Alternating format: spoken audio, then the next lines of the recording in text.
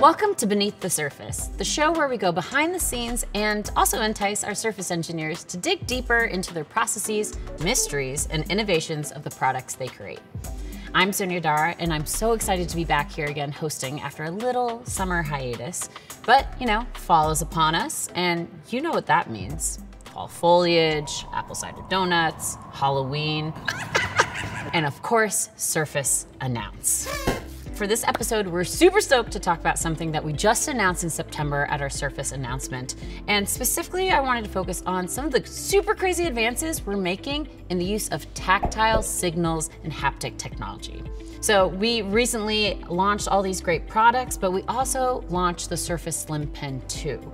And one of the significant advancements was incorporating haptic feedback, which uses tactile signals to really communicate with the users.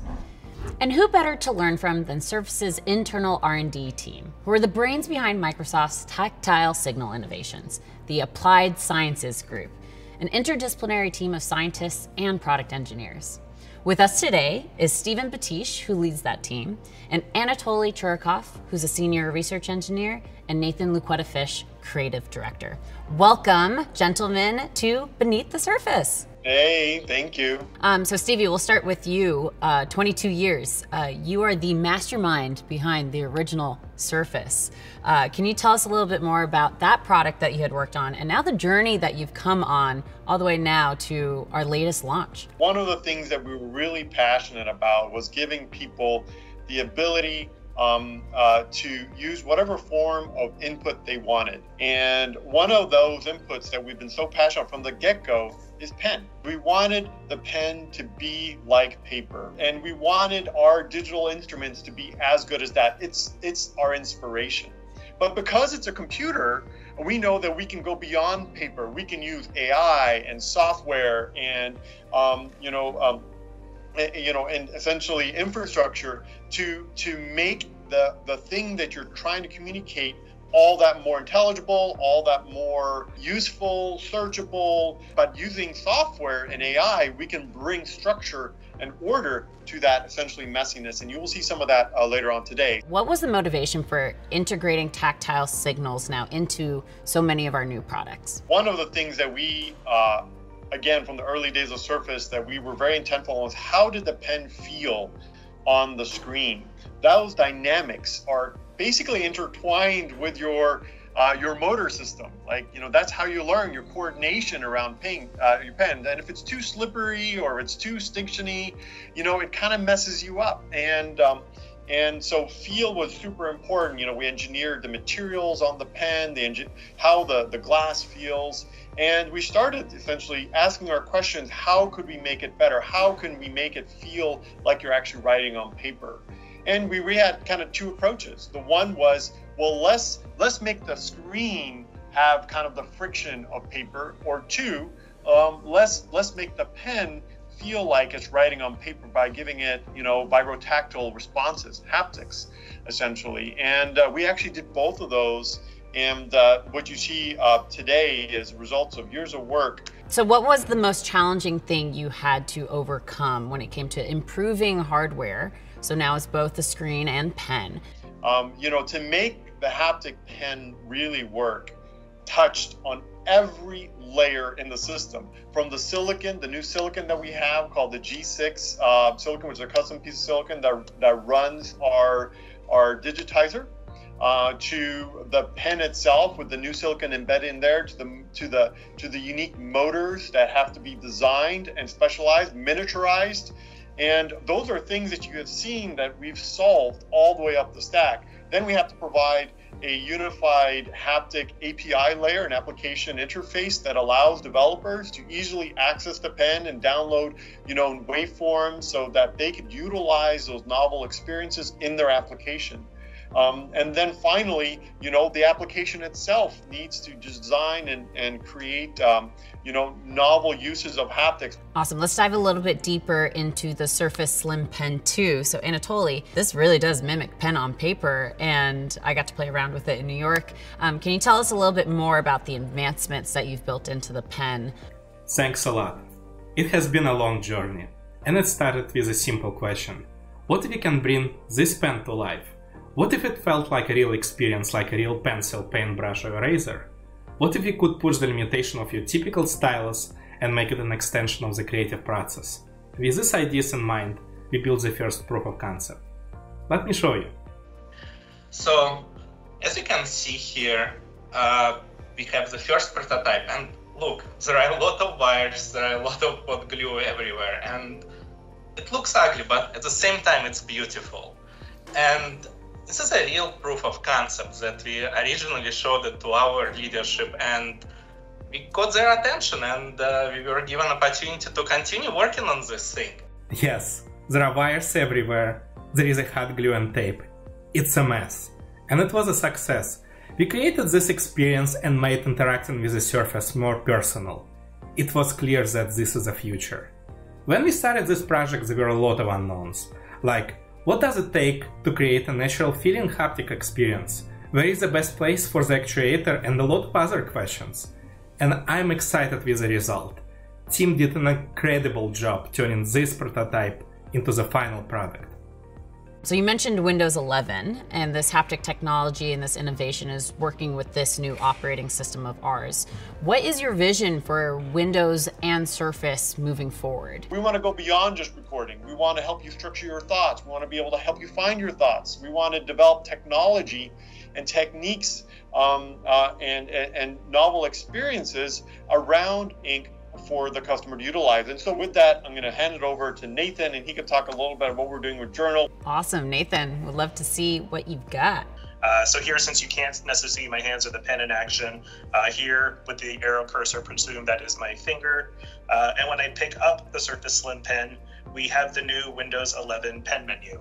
And so here I can customize it. I have whiteboard when I want to do my collaboration experiences. I can snip. Uh, and of course, I've got journal here, which with a tap, I can kind of jump into right away. And so journal was really built from the ground up to be an ink first and touch first experience. And so here with my Surface Slim Pen 2, which is again amazingly small, light, well balanced, and the amazing tip that is just like so much more refined. So as I bring it to the screen, things just come alive. So for example, as I just kind of come in here and start putting bullets next to things, we recognize that. This little cue on the side has now detected this list. And so instantly, as I'm writing it, we're processing this all locally. It's gone ahead and just said, hey, this is a list. You want to do something with it? I can copy it out as text. I can move it around. Uh, we make it really easy for you to kind of get stuff into Journal. And behind the scenes, we're doing all this magic that could really superpower your ink way better than you could do on an analog device. You can see I have a lot of different pages in here. I've imported some PDFs to mark up. Um, but using that AI, we can do some really cool things like search for all the stars that I have. And so now it's kind of cut through this whole journal that I have, and now I can quickly jump to the different sections that I've marked up, including being able to jump to different areas here, such as something I've already flagged that I want to talk about a little bit further, which is what we've done with journal and the tactile signals that you've seen. And here with highlighter, it really feels, even though I'm using the pen here, I can feel that friction. I can feel the thickness and it's just such a lovely emotional connection to that canvas that's really hard to like demonstrate over teams but uh, when you pick it up and try it you'll just have this subtle feeling and it's magical. And when you go back to other devices it just feels like the tip on glass. And again with ai and all the work that we've got here in, on windows 11 i can just go here and just scratch over that to correct something so whether i make a mistake uh, which can happen a lot when you're writing things really quickly. Instead of getting out of your flow, you can just go through and quickly correct things that you're working on. No mode switches, again, just really kind of a natural behavior, uh, something that you can't even do, you know, with a regular pen or pencil, but it just feels really nice and natural here. That's so cool. You know, something that's typically been a form of output uh, of how ink can come out of it is now giving me, the user, some uh, feeling and responses that just make me feel more connected and more in the flow. The second part to it as well is what we can do with our gestures. I can just circle something, and then I get another kick when it transforms that into the selection. And so now I can easily move that around. The other one that I actually really love is that I needed to add space. I could just do a little quick gesture here where I kind of tear the page. And as I drag it to the bottom, I'm getting this little kick when I touch the bottom. It's a really nice, natural way that's not distracting. It's just really kind of confirming what you're doing. Journal makes it really easy to go ahead and do those uh, gestures with the haptic confirmation to make it just feel a little bit more natural. And that's always kind of been the goal of what we've done with Journal. You can get this today, uh, download from the store, go to aka.ms slash journal. That was awesome. Thank you for the demo, Nathan. I heard a rumor, and I don't know if this is true, that your team is called Applied Sciences because of your love of the Batman character Lucius Fox and his ultra secret applied sciences program at Wayne Enterprises. Please tell me that's true, because I think Batman would totally be really true. proud. it is totally true. I was inspired by, you know, the applied sciences where, you know, in Batman because, you know, he would get the most cutting edge tech, but it was usable. And, you know, and you could go use it to fight crime. So that's kind of what we're doing. I love it. Awesome. Thank you so much, all three of you. Now, since this whole episode is about tactile signals and Halloween is coming up, we're gonna play a little game called Touch and Go. So this is a game where I put on a blindfold and I touch things and then I go guess what they are. I think that's how the name works. I actually have a special guest who's gonna be joining me for this segment. I have my good friend and mentor, Scott Hanselman, who happened to be filming downstairs for Visual Studios Yeah. Announce. Come join me.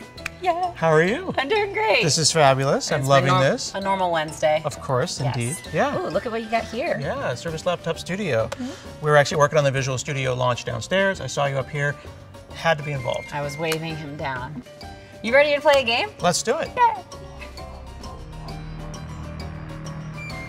We don't have one on here yet, or we do? Is it happening? Oh God. This is a fatty grape. Um. Oh, I smell it. I, um. Is it a cranberry? You put it in your Uh, face? You smelled it? I'm Don't get it in your it. face. It- yeah, it's definitely. Oh, it's gross. Beets? Oh, oh God, it's beets. It's beets. Oh, I hate beets. Wash my ass. I look like. Oh God. Oh, Oh, oh, ew. marshmallow. Oh, this is. Oh, is this um uh, cotton candy? Oh. Oh. Ooh. Oh no. Did you just I'm give us like a thing of Nutella? Is it Nutella? Is Is it Nutella? Smell. Oh God, it's. What does that smell? Why is it peeling? Pickled oranges? Pickled Brussels sprouts. Brussels sprouts. Oh, these would be small. Why would you Thank pickle you. them? Is that a gummy worm? Ooh, gummy worms don't have roots. Yeah, this is. This is a fungus. This is a mushroom. Why do you put it near your face? How, I did, how you- could you tell? I can hear you because Are you cheating? No, you go, and I'm like, what are you doing? There's a lot of things. Oh no! What did you put in here? Cottage cheese? Oh yeah, it's dairy. you go first. Damn it. Is this a Kleenex? It's a wipey. Oh yay! Do you have one? It's a wipey. Great. High five. Yay! Let's never do that again. Okay, so now sadly, the time has come for us to wrap up our episode about tactile signals. You know, I'm curious, how are you using tactile signals in your workplace? How are you thinking you'll use it in the future now that you've learned from our team? Comment below and let us know. We're always interested in learning. We are seriously so happy that you could join us today for our show. Be sure to subscribe below so you don't miss out on our next episode. Subscribe. Bye. Flipper wings. Bye. you were definitely still rolling on that, weren't you? I ad libbed that too much. Sorry. Need to do a clap. was are itchy.